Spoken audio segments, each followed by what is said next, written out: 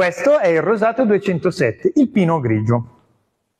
È un vino che come potete vedere è rosato, con un profumo intenso e floreale e con un sapore semisecco con una punta abbastanza amabile.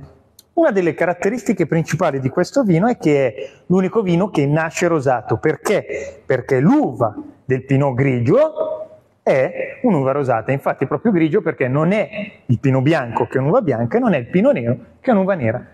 È un incrocio tra le due ed è l'unica uva rosata che, se vinificata e le bucce vengono lasciate a contatto con il vino, va a produrre esattamente un vino con questo colore qua che quindi è un rosato.